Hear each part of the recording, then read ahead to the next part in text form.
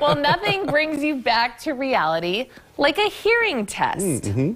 It's tune-in time, and we get to hear a sound recorded by our production team, and we've got 10 seconds to guess what it is. All right, we're going to play it. Let's, okay, let's hear it. let's listen.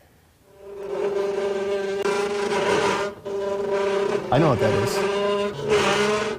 It's not Chewbacca. Now that's that's on a loop, right, guys? Yeah, on a loop. Can you play it without it being on a loop? Just play it one time? No. No? Okay, I know what it is. how do you know? Because Guess. I've heard the sound before. Okay, what do you think? It's a chair being I was thinking it was a chair as well. It- yeah, it's like a a, chair, chair- being pushed across yeah, the being floor. pushed across this linoleum It floor does right sound like Chewbacca. It like does. when you said that, I'm like, is. Like that that's Chewbacca? Amber Schatz doing her Chewbacca.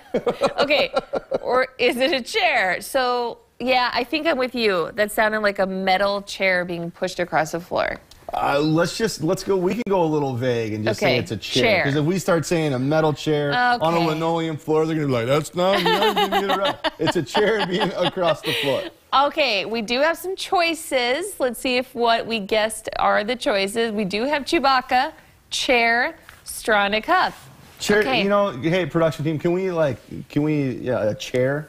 Okay, so go to kxnet.com slash vote and let us know what you think it Is is. it a chair across the floor? Did the chair fall over, or is it a chair that looks like Chewbacca? So you're feeling very confident that you I'm have it in a chair. confident. Right when I heard it, I was like, "Yeah, I know what that is." Well, and when you said Chewbacca, I was like, oh yeah, that's Chewbacca. So that now I'm like rethinking it. We are going to listen to this again. One Ooh, somebody thinks straw in a cup. cup. Yeah. Okay. Yeah, I'm gonna go with the new guy Saban over here trying to throw us off. Is what's happening.